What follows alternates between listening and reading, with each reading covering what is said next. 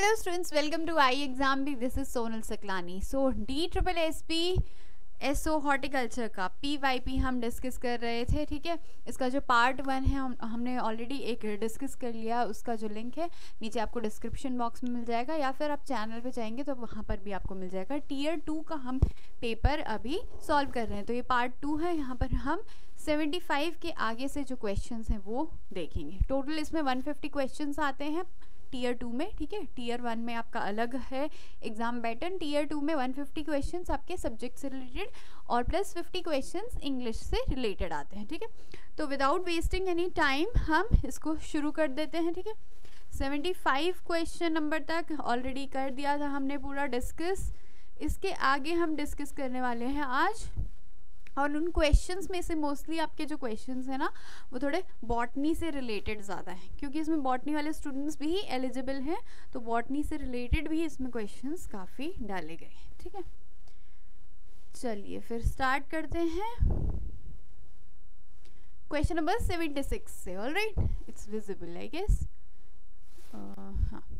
Question number seventy six the critical pest density level going beyond which is tolerable to crops so एक होता है हमारा E L level यानी कि economic threshold level उस level पे जब पेस्ट की पॉपुलेशन हो जाती है then we have to start using measures control measures use करने पड़ते हैं अदरवाइज़ क्या है पेस्ट पॉपुलेशन और ऊपर चली जाएगी. यहाँ पर क्या पूछा गया है? ऐसी पेस्ट डेंसिटी वो वाली पेस्ट पॉपुलेशन यहाँ पर पूछा गया है which is beyond the tolerable level of crops यानी कि क्रॉप्स में अब क्या है इकोनॉमिकली इंजरी होना स्टार्ट हो चुका है। तो वहाँ पर क्या ई लेवल से ऊपर वाला जो हमारा लेवल आता है that is economic injury level वो वाला लेवल इसमें पूछा गया आपको, ठीक है?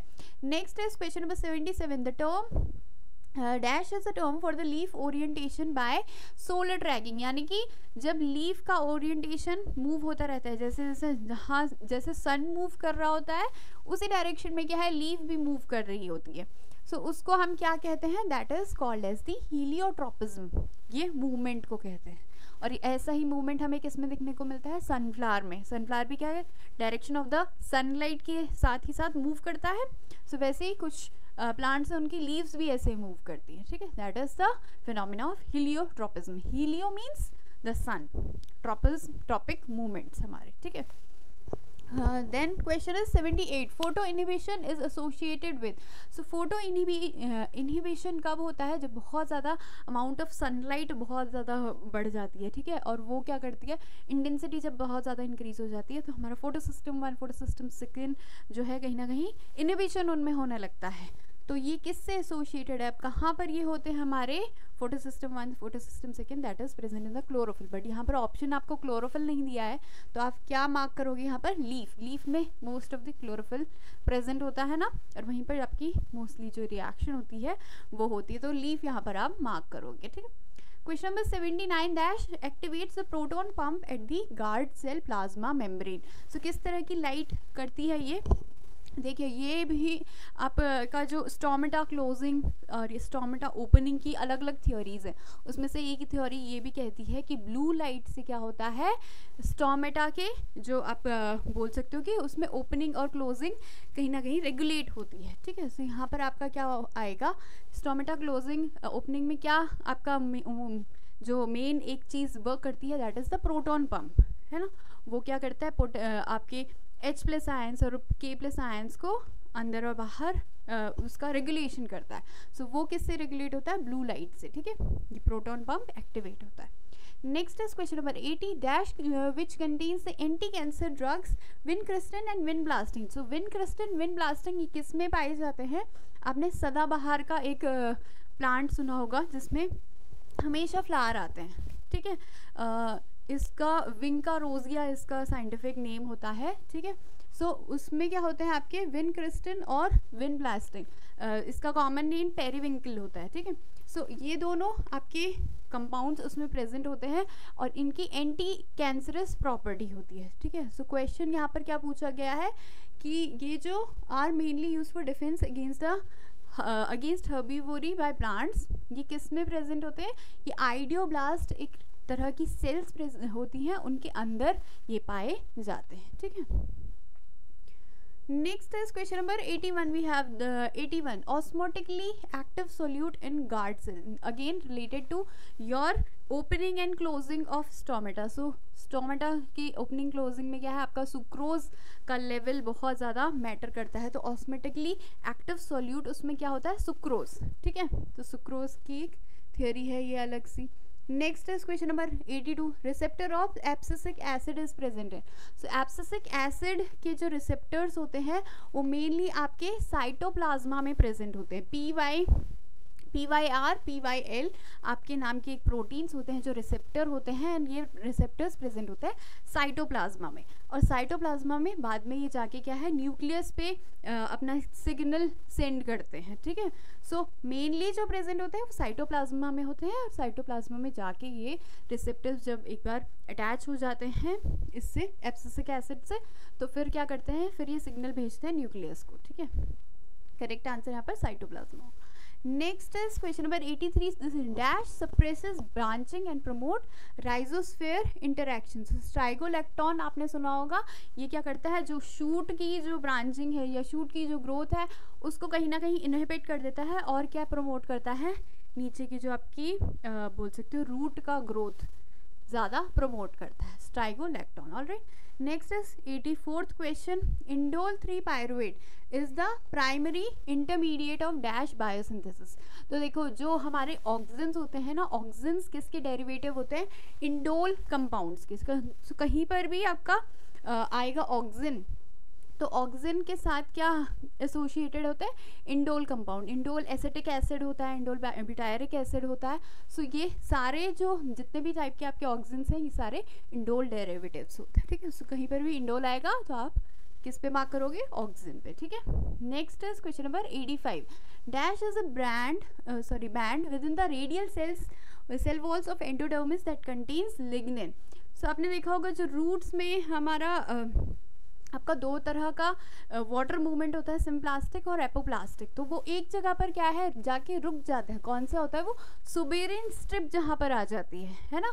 वहाँ पर कैसा मूवमेंट हो जाता है आपका? सिम्प्लास्टिक मूवमेंट हो जाता है। एपोप्लास्टिक नहीं हो पाता क्योंकि ये जो सुबेरियन स्ट्रिप होती है यहाँ पर आप, आप बोल सकते हो यहाँ पर कैस्पेरियन स्ट्रिप होती है जिसमें सुबेरियन आपका डिपोजिशन होता है।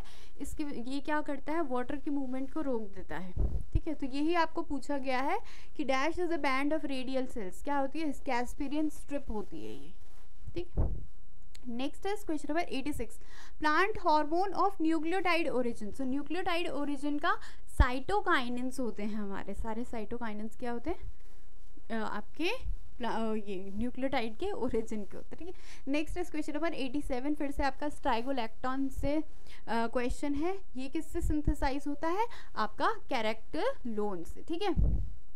नेक्स्ट इज़ क्वेश्चन नंबर 88 फटाफट से हम यहाँ पर करेंगे ज़्यादा टाइम नहीं लेंगे आपका ठीक है?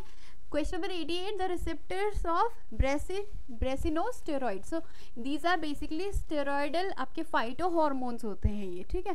सो so, इसका रिसेप्टर प्लांट में कौन सा होता है? That is the B R B R I one आपका रिसेप्टर होता है। नेक्स्ट इज़ आपका ये थोड़ा आपके लिए हो सकता है कि थोड़ा ज़्यादा बॉटनी जितने एग्रीकल्चर वाले स्टूडेंट्स हैं, उनके लिए थोड़ी डीप बॉटनी हो गई। हावेयर मुझे लगता है जितने बॉटनी वाले स्टूडेंट्स हैं, उनके लिए थोड़ा ईजी होगा ये। लेकिन एग्रीकल्चर वाले स्टूडेंट्स के लिए थोड़ा डिफ़िकल्ट हो सकता है, ठीक है? सो ज्यूटोलोप क्या है? इज़ अ फ़ोटो रिसेप्टर ये फ़ोटो रिसेप्टर प्रेजेंट जनरली आपका जो एराबिडोप्सिस टाइप का एक प्लांट होता है आपका, उनमें ये फ़ोटो रिसेप्टर की तरह काम करता है। फ़ोटो रिसेप्टर यानी कि फ़ोटो जो लाइट है उसको रिसीव करेगा और ये रिसीव करके क्या करता है, जो पूरी क्लॉक होती है ना, जैसे हमारी बॉडी क्लॉक होती है, वैसे प्लांट्स में भी एक सिकार्डियन क्लॉक होती है कि किस टाइम पे लाइट आ रही है, किस टाइम पे अंधेरा हो रहा है तो उस हिसाब से वो फ़ंक्शन करता है। तो ये उसका आप बोल सकते हो रिसेप्टर है जानने के लिए कि अभी सुबह हो रही है कि दिन हो रही है, कि शाम हो रही है, ठीक है? Next is question number 90 we have dash measures the relationship between water loss and carbon gain so ये किससे हमें पता है? चलता है एक तो ट्रांसपेरेशन रेशियो से कि कितना आपका वाटर ट्रांसपायर हुआ, उसमें से कितना आपका बायोमास जनरेट हुआ और दूसरा वाटर यूज़ एफिशिएंसी से भी पता चलता है, ठीक है? Next is question number 91 phytochrome is synthesize from so phytochrome किससे सिंथेसाइज होता है आपका? हीम यानी कि आयरन का एक कंपाउंड प्रेजेंट होता है, उससे ही आपका फाइटोक्रोम सिंथेसिस में हेल्प होती है, ठीक है? Next is question number 92 we have phototropism requires changes in dash mobilization so phototropism का, क्या होता है? देखो ट्रॉपिक मूवमेंट जितनी भी होती है those are basically the growth movements water sorry not water light photo मतलब कि लाइट ना? तो लाइट की तरफ़ जितनी भी ग्रोथ मूवमेंट होंगी those are classified under phototropism अब फोटोट्रॉपिक जब ग्रोथ करना है तो ग्रोथ में क्या हेल्प करता है? ऑक्सीजन करता है. इवन जब इसका, आप बोल सकते हो डिस्कवरी हुई थी, तभी भी ऐसे ही डिस्कवर किया गया था कि जब भी लाइक लाइट की तरफ़ जब भी मूव कर रहा होता तो वहाँ पर कौन सा एक कंपाउंड है? जो कि इसको हेल्प कर रहा है ग्रोथ करने में। तो वहाँ से ऑक्सीजन की डिस्कवरी हुई थी, ठीक है? सो फोटोट्रोपिज्म में क्या चाहिए होता है? ऑक्सीजन चाहिए होता है। Next is question number 93 we have during embryogenesis the protoderm becomes so embryogenesis के टाइम पे, यानी कि एम्ब्रियो फॉर्मेशन एम्ब्रियो जब बड़ा होता है, या फिर आप बोल सकते हो कि पहले जाइगॉट बनता है, फिर उससे एम्ब्रियो बनता है, फिर एम्ब्रियो से आपका नया प्लांटलेट बनेगा। तो अलग अलग तरह के इसमें टिश्यूज़ होते हैं। उसमें से एक टिश्यू है आपका प्रोटोडर्म ठीक है? इसमें प्रोटोडर्म होता है, इसमें आपका ग्राउंड टिश्यू प्रेजेंट होता है। तो ये क्या फॉर्म करता है? जो आपका प्रोटोडर्म है, वो आपका फॉर्म करता है एपिडर्मिस यानी कि एपिडर्मल लेयर बाहर की जो लेयर है, वो फॉर्म करता है, ठीक है? वेर एज जो हमारा नेक्स्ट आता है हमारा ground meristem so ground meristem जितने भी आपके ग्राउंड टिश्यूज़ होते हैं ग्राउंड टिश्यूज़ में हो गए आपके कॉलन काइमा हो गया, ठीक है पेरन काइमा हो गया, वो फॉर्म करता है, ठीक है? और तीसरा आता है हमारा, तीसरा है प्रोकैम्बियम ठीक है? प्रोकैम्बियम क्या बनाता है? जितने भी आपके वेस्कुलर टिश्यूज़ होते हैं, वो प्रोकैम्बियम से बनते हैं। तो तीन तरह के टिश्यूज़ सबसे पहले फॉर्म होते हैं एम्ब्रियो में, ठीक है? Next is question number 94 that is during embryogenesis again embryogenesis से क्वेश्चन है. The cell elongation and cell differentiation किस से होता है? कौन से स्टेज में होता है? टॉर्पिडो स्टेज तो अलग अलग उसमें स्टेजेस होती हैं. आपकी ग्लोबुलर स्टेज होती है टॉर्पिडो स्टेज होती है. आप जब पूरा इसको पढ़ेंगे तो आपको समझ में आएगा, ठीक है? Next is question number 95 bronzing is an after effect of किसकी डेफिशिएंसी से होता है? जिंक की डेफिशिएंसी से बाद में ब्रॉन्जिंग होने लगती है. या आपने देखा होगा खेरा डिज़ीज़ में भी क्या होता है? थोड़ी थोड़ी येलोइंग या ब्रॉन्जिंग टाइप की होने लगती है ना तो जिंक की डेफिशिएंसी होता है, ठीक है? वहाँ से आप याद कर सकते next is question number 96 dash genes control the apical basal polarity so कौन, किससे होता है ये? मोनोप्टेरॉस जो जीन्स प्रेजेंट होते हैं, ये भी क्या है? एम्ब्रियो से ही आपका एम्ब्रियोजेनेसिस से ही रिलेटेड क्वेश्चन है। वो आपकी बेसल और जो पोलर जो मतलब पोलैरिटी है, बेसल और एपिकल वाली पोलैरिटी, वो डिसाइड करते हैं, ठीक है? Next is question number 97 that is dash contributes to the formation and maintenance of root apical meristem so meristems में हमेशा क्या है ये शूट टिप पे या फिर रूट टिप पे हमेशा क्या प्रेजेंट होता है? आपका ऑक्सीजन प्रेजेंट होता है, जो कि मेरिस्टम में कंटिन्यूसली क्या करते हैं? सेल डिवीज़न का काम करता है। Next is question number 98 absorptive organ in plant embryo so इसमें स्क्यूटेलम मैंने आपको कल भी बताया था स्क्यूटेलम बेसिकली क्या है? एक आप बोल सकते हो जो हमारा सीड प्रेजेंट होता है मोनोकॉट्स में जो सीड uh, प्रेजेंट होता है उसमें एक आपका स्ट्रक्चर होता है स्क्यूटेलम जो कि फ़र्स्ट लीफ बनाता है ठीक है? और यही क्या करता है? सबसे पहले सारे एब्जॉर्प्शन वाला जो काम है वो भी स्क्यूटेलम का होता है ठीक है? ये क्या करता है आपका? यहाँ पर लिखा है न्यूट्रिएंट्स जो होते हैं न्यूट्रिएंट्स और वाटर का एब्जॉर्प्शन करता है, ठीक है? Next is receptor of gibberellin या जिब्रेलिक एसिड का रिसेप्टर कौन सा होता है present G D one present होता है के प्लांट्स में all right next is question number hundred that is अभी 50 क्वेश्चंस और हैं तो फटाफट से हम करेंगे, ठीक है?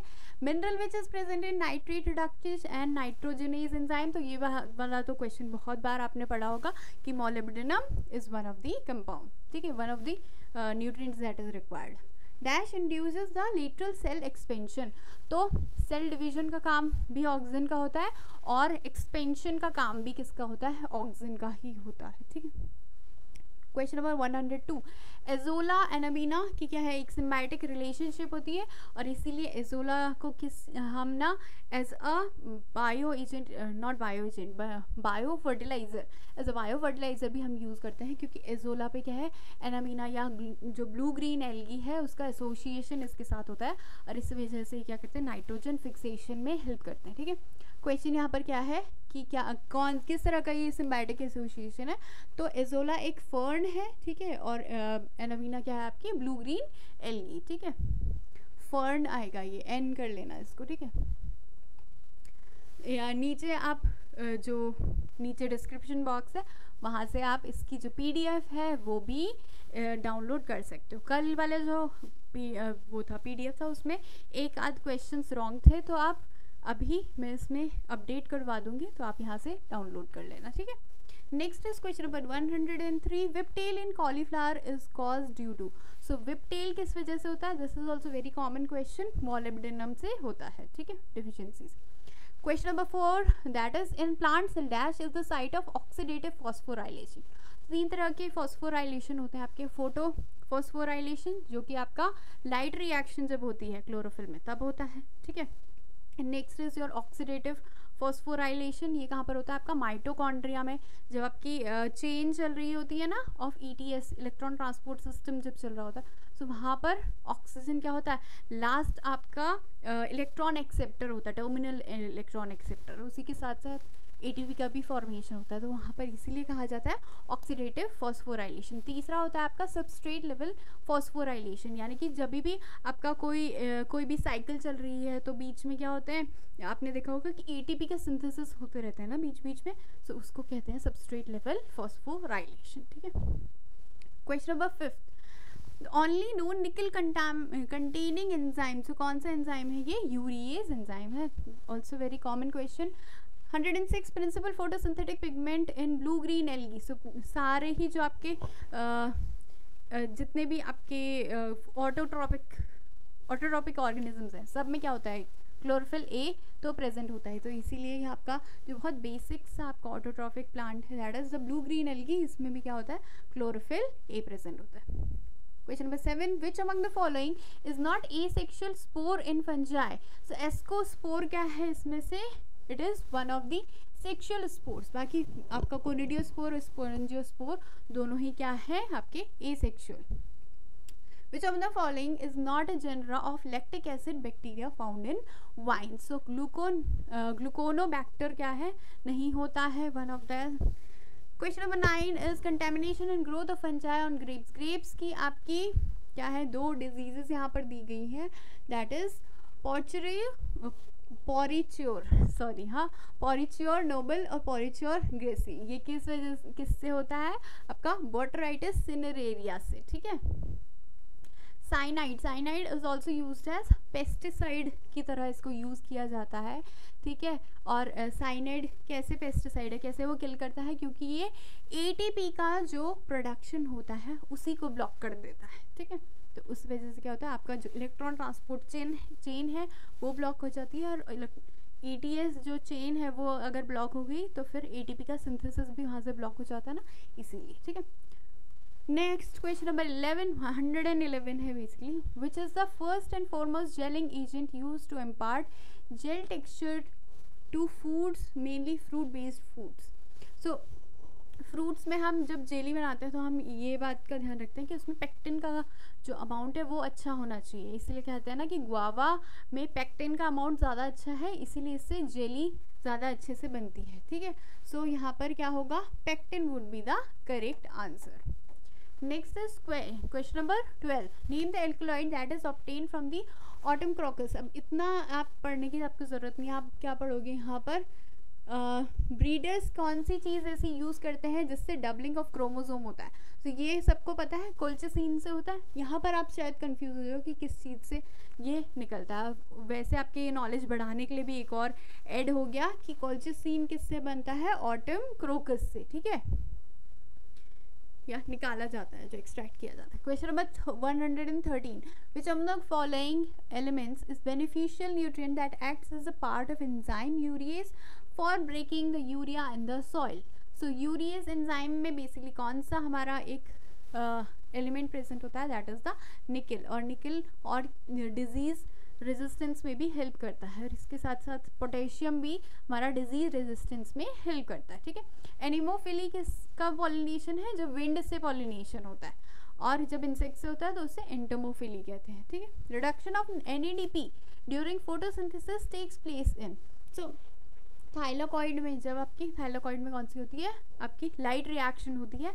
उस टाइम पे क्या होता है? एनएडीपी का रिडक्शन होता है, ठीक है?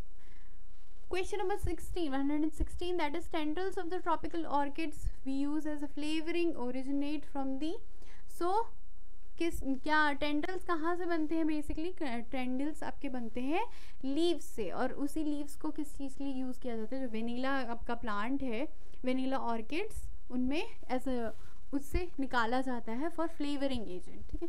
सो ये लीव्स जो होती हैं लीव्स ही मॉडिफाई होकर क्या टेंडल्स बनाती हैं। Next is what is thigmo response thigmo हमेशा किसको डिनोट करता है? टच को। ठीक है? थिग्मोट्रोपिज्म हम बात करते हैं थिग्मोनास्टी हम बात करते हैं। तो थिग्मो का मतलब क्या होता है? दैट इज़ टच ठीक है? So answer would be plant response to any form of touch ठीक? Question number one hundred eighteen plant movements that are independent of the direction of stimulus so इनको क्या कहा जाता है? नेस्टिक मूवमेंट्स दो type की मूवमेंट्स अब इस पर मैंने, अगर आपको डिटेल जानना है तो इस पर मैंने वीडियो भी बना रखा है एक एग्री कॉन्सेप्ट से में। क्विक एग्री कॉन्सेप्ट की जो सीरीज़ है, वहाँ पर आप जाके देख सकते हो। क्या क्या क्या होती है नेस्टिक मूवमेंट्स और क्या होती हैं आपकी ट्रॉपिक मूवमेंट्स ठीक है? डायरेक्शन लेस जितनी भी होती है, वो सारी नेस्टिक मूवमेंट्स होती है।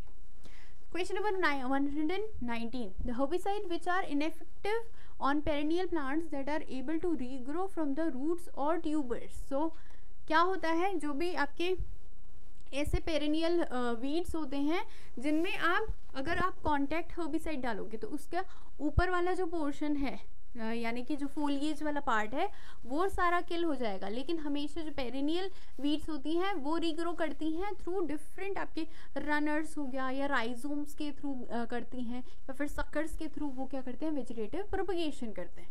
सो so, अगर आप कॉन्टैक्ट हर्बिसाइड डालोगे तो ये पूरी तरह किल नहीं होंगे। इसलिए इसमें हमेशा क्या करते हैं सिस्टमिक हर्बिसाइड यूज़ किया जाता है for perennial weeds 120 water is oxidised to oxygen by so so, uh, जो हमारी जेड स्कीम होती है उसमें क्या होता है? फोटोलिसिस ऑफ़ वाटर होता है जो हमारी पूरी आपकी साइक्लिक uh, वाला फ़ोटो फ़ोटो सिस्टम होता है उसमें कभी भी आपका फोटोलाइसिस uh, नहीं होता है ठीक है? सो यहाँ पर क्वेश्चन क्या आपको पूछा है कि water is oxidise to oxygen कौन से फ़ोटो सिस्टम से? अब आप जेड स्कीम अगर याद करोगे लाइट रिएक्शन की तो उसमें आपको याद आएगा कि पहले हम क्या रखते हैं? Photo system one photo system second रखते हैं फिर फ़ोटो सिस्टम वन रखते हैं ठीक है? Photosystem second is six eighty nanometer वाला ठीक है? फ़ोटो सिस्टम फ़र्स्ट वाला आपका सेवन हंड्रेड नैनोमीटर का होता है। तो हमेशा सबसे पहले क्या होता है? फोटोलिसिस ऑफ़ वाटर होता है फिर वहाँ से इलेक्ट्रॉन जाता है आपका आगे। सो so, वाटर का ऑक्सीडाइज कौन करेगा? आपका photosystem second Question number 121. The integrated pest system practices uh, used in good warehousing warehouse keeping. तो किस तरह कौन कौन सी प्रैक्टिसेस वहाँ पर आपके फ्यूमिगेंट्स भी आप यूज़ करते हो डिफरेंट टाइप के आपके डिसइनफेक्टेंट्स भी यूज़ करते हो उनका स्प्रे भी यूज़ करते हो ठीक है एटमॉस्फेयर गैस मॉडिफिकेशन भी किया जाता है मॉडिफाइड एटमॉस्फेयर वहाँ पर बनाया जाता है सी का कॉन्सेंट्रेशन इंक्रीज करा जाता है ऑक्सीजन का कम किया जाता है इन ऑर्डर टू लाइक उसको स्टेराइल स्टेरलाइज करने के लिए और प्रोटेक्ट करने के लिए from different insects question number 122 that is 122 क्या है? Control of storage insects in nuts and dried fruits and vegetables can be achieved by कैसे किया जा सकता है ये? कोल्ड स्टोरेज में अगर आप रखोगे कम टेम्परेचर में तो फिर आपका जो स्टोरेज uh, का क्या है स्टोरेज में क्या करते हैं हम? जितने भी इंसेक्ट्स हैं और जितने भी पेस्ट हैं आपके उससे प्रोटेक्ट करने के लिए रखते हैं ना? Question number twenty three what which is the natural pesticide so इसमें से आपके सारे ही जो आपके कसाला कसावा लीव्स है इवन लेंटना कैमरा की जो लीव्स हैं, उनको भी यूज़ किया जाता है एज अ नेचुरल पेस्टिसाइड ठीक? Question number one twenty four that is which among the following can be used to prevent the post harvest decay of melons, carrots fruit citrus fruits and accepted as certified organic यानी कि अगर certified आपका है organic product है तो फिर आप क्या यूज़ करेंगे उसमें? आप यूज़ कर सकते हो उसमें बाइकार्बोनेट सॉल्ट्स ठीक है? और सारे जो है आपके मिथाइल ब्रोमाइड निकोटीन सल्फेट ये आप तभी यूज़ कर सकते अगर ऑर्गेनिक नहीं होता, तब आप वहाँ पर यूज़ कर सकते थे। Which among the following is herbicide that can block photosynthesis? So ये भी मैं बोलूँगी कि एक थोड़ा डीप लेवल uh, का एक क्वेश्चन आपसे पूछा गया है। अगर आपने हर्बिसाइड्स के बारे में पढ़ा है उसका मैकेनिज्म पढ़ा है तभी आप ये आंसर कर सकते हो ठीक है? सो फोटोसिंथेसिस की जो प्रोसेस है उसको कौन कौन सा ब्लॉक करता है? आपका एक पैराक्वाइट हो गया और डाइक्लोरोफिनाइल डाइक्लोरोफिनाइल डाइमिथाइल यूरिया जो होता है, ये दोनों ही क्या है फोटोसिस्टम सॉरी फोटोसिंथेसिस की जो प्रोसेस है, इसमें भी फोटोसिस्टम जो होता है, वो उसको ब्लॉक कर देते हैं, ठीक है? Question number 126 which among the following is requirement of for breaking dormancy and to improve germination ठीक है सो जर्मिनेशन इम्प्रूव करने के लिए हम क्या करते हैं? एक तो कुछ सीड्स होती हैं जो फोटोप्लास्टिक सीड्स होती हैं, उनको लाइट की ज़रूरत होती है जर्मिनेट करने के लिए। कुछ सीड्स होती हैं जिनको बहुत लो टेम्परेचर चाहिए होता है स्टार्टिफिकेशन सो टेम्परेचर भी हम कभी कभी मॉडिफाई करते हैं। स्कैरिफिकेशन ट्रीटमेंट भी किया जाता है, जिनमें सीड कोड बहुत ज़्यादा थिक होता है, ठीक है? सो तीन, तीनों ही जो है आपके मेथड्स यूज़ किए जाते हैं। 127 question which among the following is not a plant derived antioxidant? So P nitrophenyl ethers are not the one one twenty eight question पे आएँगे rice grown on old cotton land show symptoms of disorder called straight head disease तो क्या होता है कि जो cotton है उसमें पहले के ज़माने में ना आर्सनिक बहुत ज़्यादा यूज़ किया जाता था। सो so, ऐसे जो हमारे फ़ील्ड होते हैं वहाँ पर अगर हम राइस ग्रो करेंगे तो राइस में क्या है? टॉक्सिसिटी हो सकती है आर्सेनिक की क्योंकि आर्सेनिक पहले ही यूज़ किया गया था वहाँ पर ठीक है?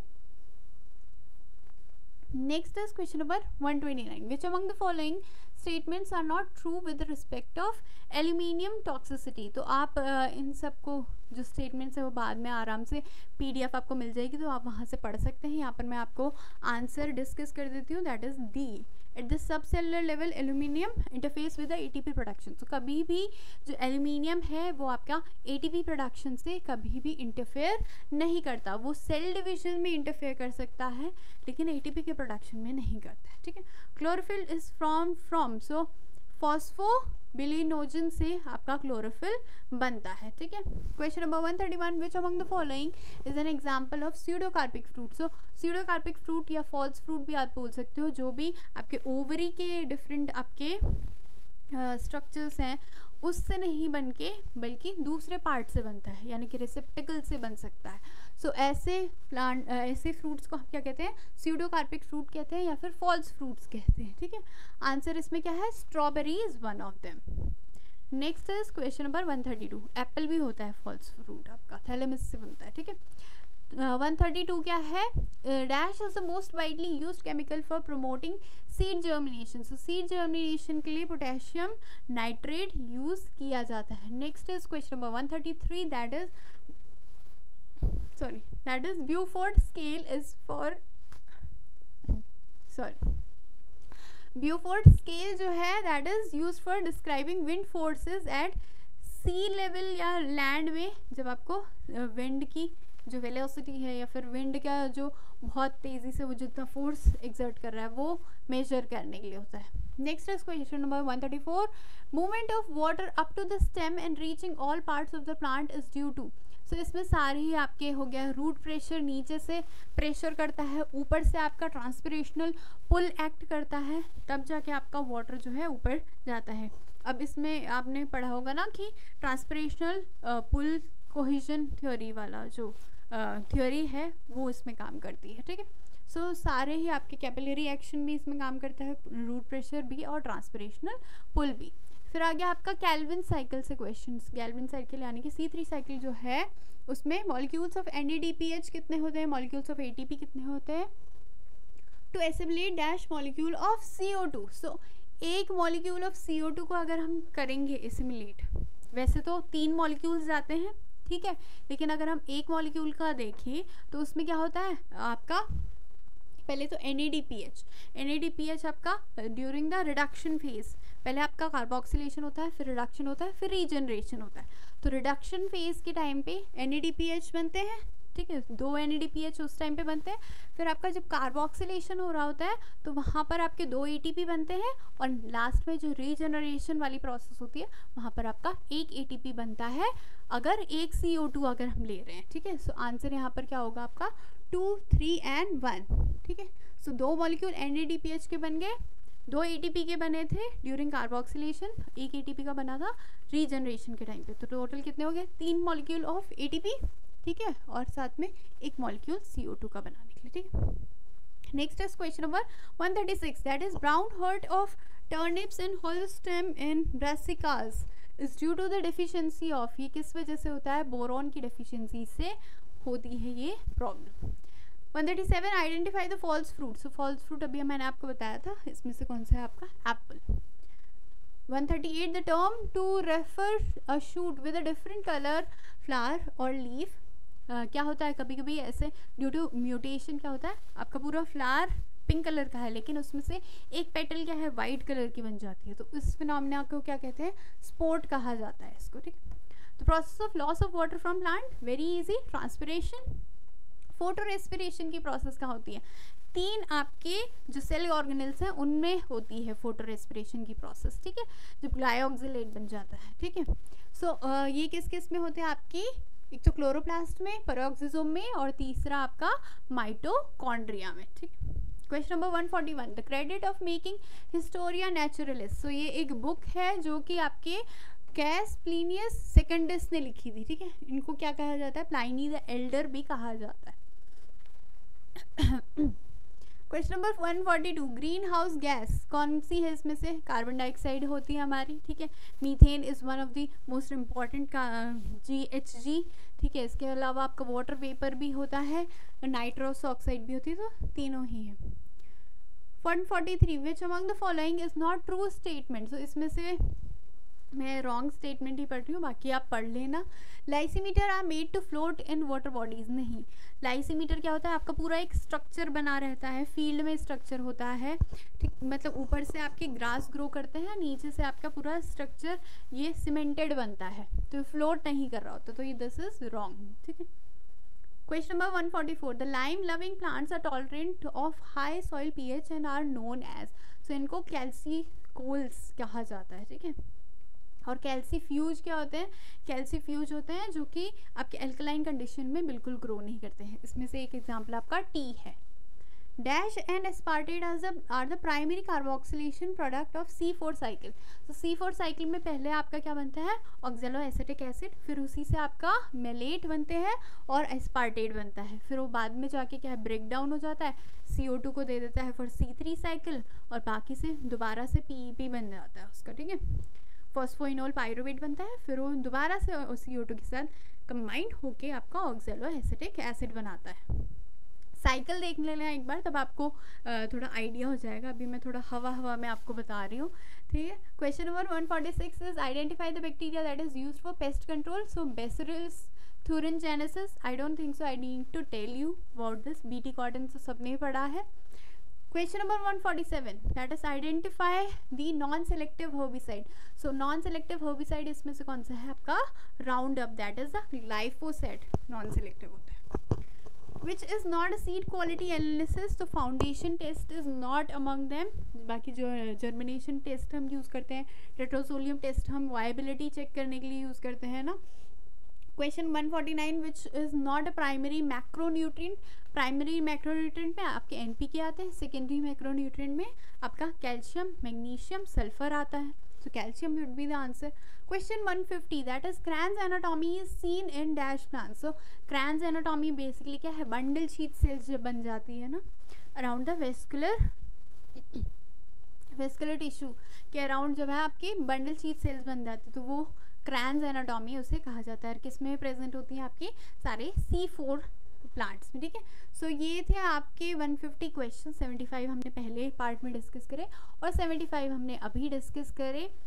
अब आपको ये पीडीएफ जो है नीचे डिस्क्रिप्शन बॉक्स में मिल जाएगी। आपको ये जो टेस्ट है, वो पूरा आपको साइट पे मिल जाएगा। अभी कुछ दिनों में आपको अवेलेबल हो जाएगा। टीयर वन का जो टेस्ट है, वो ऑलरेडी आई एग्ज़ाम की साइट पे है तो आप वहाँ पर जाके उससे चेकआउट कर सकते हो। आप वहाँ पर अटैम्प्ट कर सकते हो, देख सकते हो कि आप उस, उसको कितना कर पा रहे हो खुद से, ठीक है? बाकी अगर आपको आ, इसका कोर्स चाहिए तो कोर्स अवेलेबल है अभी। उसमें आपको लाइव क्लासेस भी हम दे रहे हैं। उसके साथ साथ ही आपको कोर्स वीडियोस दिए जाएँगे चैप्टर टेस्ट दिए जाएँगे और उसके साथ ही कोर्स नोट्स भी दिए जाएँगे।